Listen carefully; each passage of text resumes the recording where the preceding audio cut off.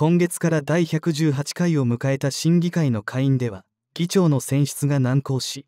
15回もの投票を経てようやく共和党のケビン・マッカーシー議員が議長に選出されました。マッカーシー氏が就任時の公約として掲げていたアメリカと中国共産党間の戦略的競争に関する特別委員会を設立する決議案は下院で今月11日に共和党民主党両陣営から広い支持を受けて可決しました。この特別委員会はその名の通り